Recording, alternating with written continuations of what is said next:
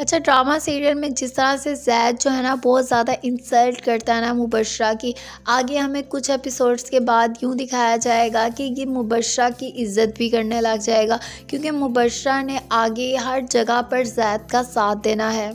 अब ड्रामा जिस पॉइंट पर पहुंचा है ना मैं आपको बता दूं कि इसकी दो स्टोरीज़ हो सकती हैं पहली स्टोरी तो कुछ इस तरह से होगी कि जैद अब ये तो कन्फर्म है कि जैद ने शादी कर लेनी है आयरा के साथ उससे आगे ये होना है कि भाई जैद ने अपनी हैप्पी लाइफ गुजारनी है आयरा के साथ और मुबशरा खुद ब खुद इनकी ज़िंदगी से अलहदा हो जाएगी और दूसरी स्टोरी कुछ इस तरह से हो सकती है कि यहाँ पर मुबशरा को एहसास होगा कि उसकी वजह से आयरा की ज़िंदगी में बहुत ज़्यादा तकालीफ आई हैं जिसकी वजह से वो ख़ुद ही साइड पर हो जाएगी और वो जैद को छोड़ देगी ये कह कर कि जैद तुम कल भी आयरा के थे और आज भी आयरा के हो हो सके तो मुझे अच्छे अल्फाज में याद रखना क्योंकि मैंने तुम्हारे साथ किसी किस्म का कुछ बुरा नहीं